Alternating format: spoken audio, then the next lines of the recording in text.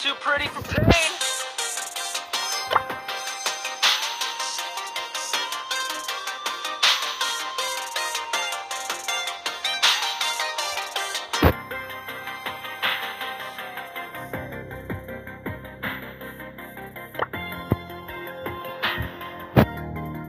Yeah! Oh, that's gotta hurt.